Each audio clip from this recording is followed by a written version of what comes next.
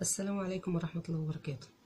اللهم صل وسلم وبارك على سيدنا محمد وعلى آله وصحبه أجمعين. آه، هنبدأ نشتغل النهاردة في الطقم ده. آه، ده سادة في منقوش. آه، هنحتاج 3 متر من المنقوش و3 متر من السادة للقصة دي. القصة دي عبارة عن الملاية هتبقى منقوشة وال وكورنيشة سادة. الكورنيشة أنا هعمل كورنيشتين. كورنيشة في أول الملاية آه على حرفها وفي أول حرف السرير آه كورنيشة عبارة عن فسطونات بس أنا مش هعملها بقى فسطونات أنا هعملها عبارة عن سبعات وثمانيات. آه وهنعمل المخدات والخدديات من السادة. آه يلا نبدأ مع بعض كده على بركة الله. آه ونقول بسم الله الرحمن الرحيم. أنا هنا القماش ده معايا. آه أنا قصيته اختصارا للوقت. لكيسين المخدات والخدديتين آه، زي ما اتفقنا قبل كده أنا ليا طريقتين بعمل بيهم كيسين المخدات والخدديتين آه، ممكن آخد متر وستين. آه، ده الكلام ده للسرير متر وستين. ممكن آخد متر وستين. أطلع منهم المخدتين وخددية وبعدين آخد خمسين سنتي تاني أعمل بيهم ال- الخددية التانية. يبقى كده إحنا معانا مترين وعشرة. ممكن أعمل حاجة تانية ودي الطريقة اللي أنا هعملها دلوقتي. إن أنا قصة مترين وعشرة. هعمل بيهم المخدتين والخدديتين. نشوف هنعمل فيهم إيه. أنا باخد القماش كده بفرده بيبقى البرصل ده كده وهنا القماش كده آه، من هنا الناحية المقفولة. آه، باجي بفرد القماش. اتفقنا إن عرض الخدودية بيبقى خمسين في سبعين. آه، بنزود شوية آه، ممكن تبقى مثلا خمسة وسبعين في خمسة وخمسين أو تلاتة وسبعين في خمسة وخمسين. هبدأ أنا آخد من ناحية البرسل كده أخلي البرسل كده على يميني يعني أنا بعمل البرسل كده بخلي البرسل على يميني وأبدأ أقيس الخمسة وسبعين سنتي بتوع الخدودية من المتر من المترين وعشرة سنتي. بقيس الخمسة وسبعين سنتي بتوع الخدودية خمسة وسبعين سنتي. أتني القماش كده.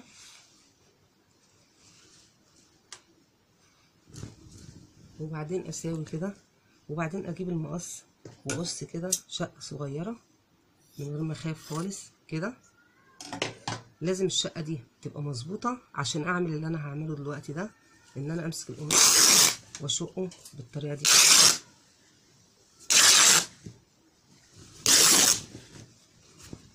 كده بقيت أنا معايا الخدوديتين بس من غير القلاب آه إزاي؟ هوريكم إزاي.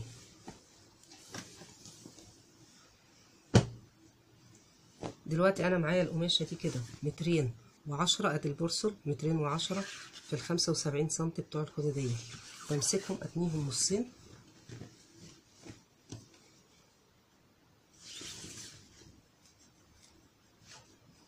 واتنيهم كمان نصين. بقيت معايا كده القماشة على أربعة. كده. بسويها طبعا لازم تبقى متسوية كويس جدا عشان ما تطلعش ناحية أكبر من ناحية ولا ناحية أصغر من ناحية. لازم اسويها كويس جدا كده. وبعدين أبدأ أقص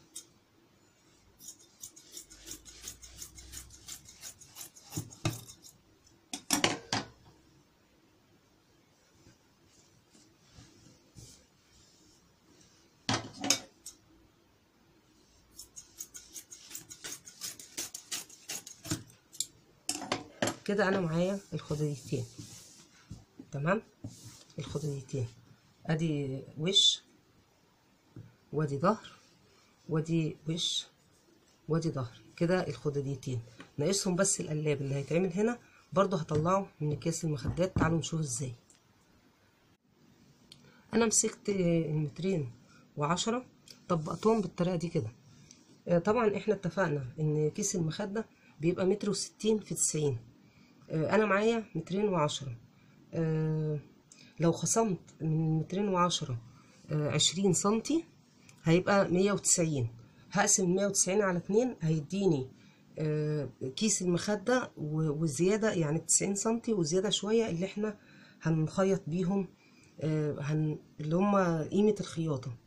آه، فأنا دلوقتي هقص عشرين سنتي من ال من القماشة دي البرسل هنا اهو وأنا تنيت كده عشرين سنتي. بس خلوا بالكم اوعوا تتنوا العشرين سنتي من المتر وستين. إحنا بنتني العشرين سنتي من ناحية المترين وعشرة. بيبقى البرسل كده وأنا بتني كده عشرين سنتي و... واقصهم عشرين سنتي.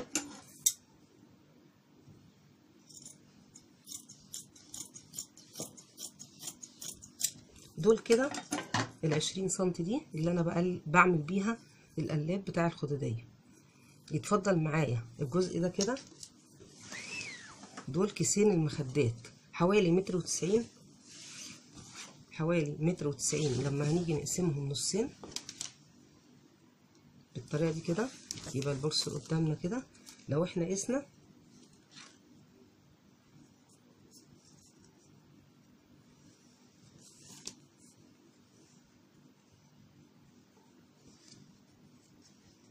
نقيس كده. أهو.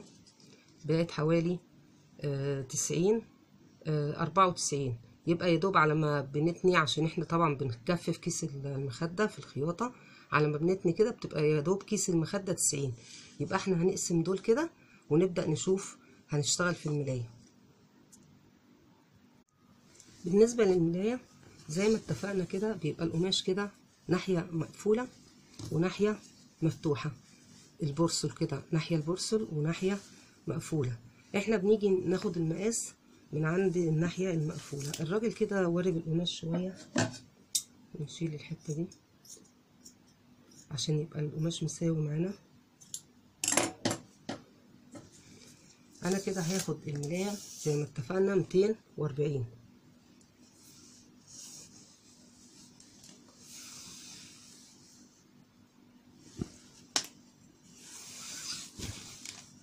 ميتين وأربعين.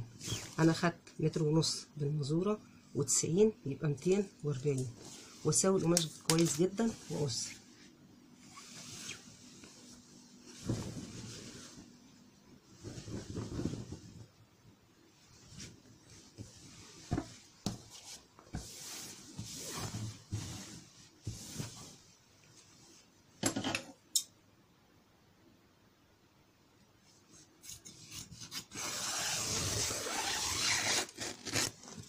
كده. أنا مش محتاجة من المنقوش ده غير القلاب بتاع كيس المخدة. هقص ربع متر وأقسمه على اتنين وبعدين أعمل بيهم القلاب بتاع المخدة.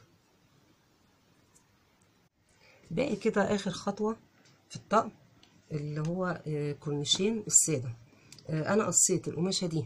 حوالي 28 سنتي أو 25 سنتي على حسب ما إحنا نشوف الكورنيشه اللي إحنا عايزينها قد إيه. قصيتها كده الحتة دي وتنيتها بالطريقة دي كده وبعدين هشقها كده. هقسمها.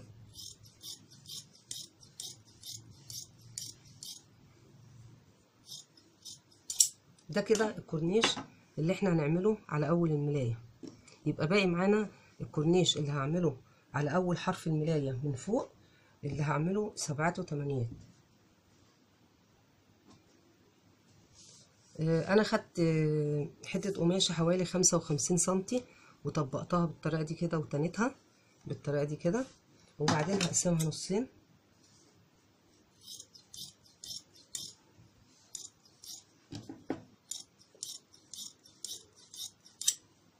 إحنا لما بنيجي نعمل كورنيشة في الملايه بناخد عرضين زي ما اتفقنا. أنا هنا مش محتاجة العرضين عشان أنا عايزة أقلل الكشكشة شوية عشان منظر الفسطونات اللي أنا هعملها أو منظر السبعات والثمانيات يبان شوية. فأنا هاخد عرض القماش مرة وهاخد نص العرض مرة تانية عشان أنا هحتاج النص التاني من العرض أعمل بيه فيونكات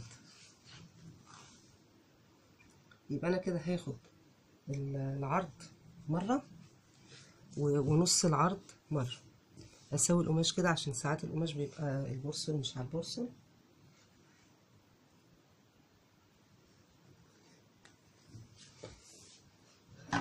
هقسم كده. وهاخد نص القماشة أعمل بيها الكورنيشة والنص التاني هعمل بقى الفنكات اللي هتتحط على الملاية. آه، بعد كده آخر حاجة بقى آه، قص السبعات والتمانيات. آه، أنا برضو هسوي القماش كده عشان البرسل مش جاي على البرسل أسوي القماش كده. بالنسبة للسبعات والتمانيات دي بقى إحنا بنعملها على حسب ما يعجبنا. إحنا ممكن نعملها كبيرة أو صغيرة على حسب ما يعجبنا. أنا هنا هعملها قسمت القماش كده على أربعة كده القماش على أربعة وبعدين هقسمه كمان مرة.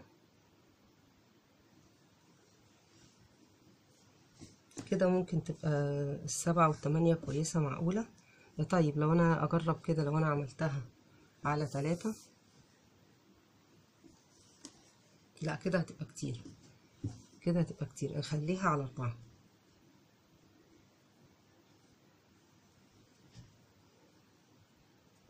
على أربعة عشان أنا مش عايزاها عريضة أوي. لازم أسوي القماش كويس عشان ما يعملش أي حركة كده معايا.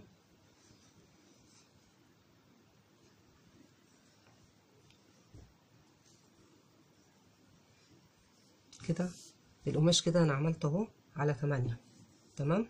هاجي أروح قاسمة كده تاني. كده بقيت معايا كده القماش. بطريقة عشوائية خالص ممكن السبعة دي أنا على حسب ما أنا عايزة. ممكن أخدها لحد هنا ممكن أخدها لحد هنا ممكن أخدها لحد هنا. فأنا بطريقة عشوائية خالص كده هاخدها كده. لو إحنا مش عارفين آه نعملها بنجيب مسطرة ونعلم بيها نعلم بيها كده.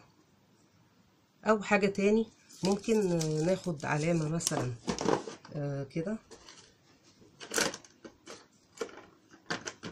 ممكن ناخد علامة بالمزورة. إحنا عايزين مثلا ناخد ال- السبعة لحد هنا مثلا. هناخد كده بالمزورة كده ونعلم. كده. وبعدين نقص